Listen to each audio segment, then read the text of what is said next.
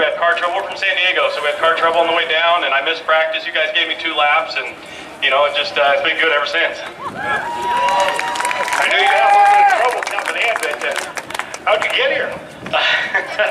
on a whim and a prayer. There you go. Well, it was worth it. Yes, absolutely. Uh, thank you to all you fans. I mean, for showing up. This is such a great facility. You guys are such great people, a great town. I mean, this promoter right here is awesome.